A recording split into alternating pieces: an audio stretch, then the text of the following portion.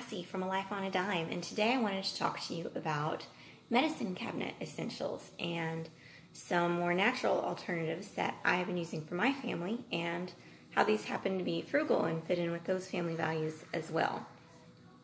I'd like to start by talking about oils for kids. Um, one thing that I do for the kids, you never want to apply a regular essential oil without diluting it first for your kids. So I dilute them with a little almond oil. You can also use grapeseed oil. You can even use olive oil, any vegetable oil really, coconut oil.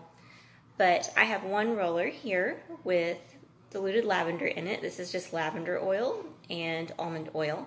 And I like to put some behind the kids' ears at bedtime. It can help you relax and get to sleep.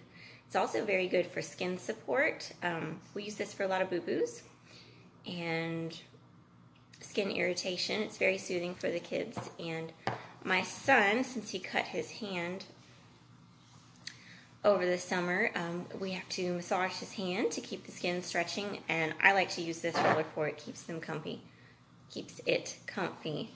Um, another thing that I like to do for the kids is a roller of Thieves. Thieves is a great immune support and I just roll this up their spines. I try to remember to do this every single night before they go to bed just to help boost their immunity.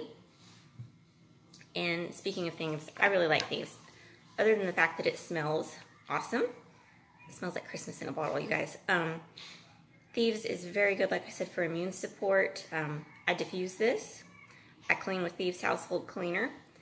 And I even like to put the Thieves Vitality, I don't have that out with me, but there's a Thieves Vitality oil that is FDA approved for ingestion. I love to put that in hot tea. One thing I like to do for myself is I have the Thieves roller that is pre-formulated by Young Living. And I like to roll this up my spine at night as well. Sometimes I roll it on my feet. You get really good absorption on the bottom of your feet. Or if I feel like I'm coming down with something, I may roll it directly over the nodes to help get a little extra immune support there since this is where I seem to have most of my issues. And this works really well. I literally just roll it on here, this, and you can walk around smelling like Christmas. It's awesome.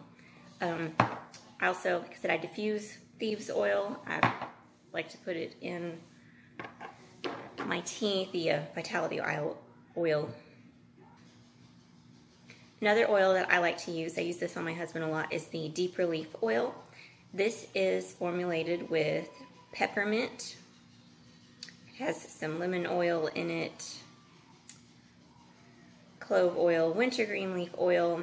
It's really nice. You roll it in, it absorbs in, it really helps relieve some tension. Um, if I get a tension headache and I start to hurt in my jaws, I roll this directly over my jaws and it really helps me to relax a little bit.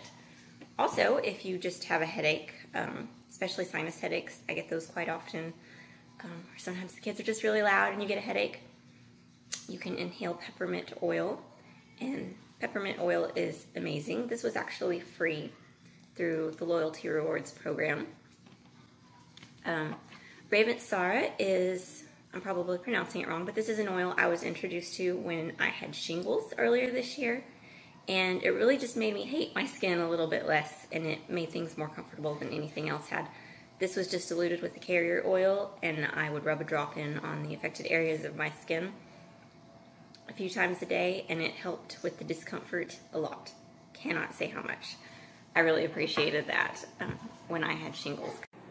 Well, I hope you liked that little glimpse into my family's medicine cabinet because you found some of that information helpful.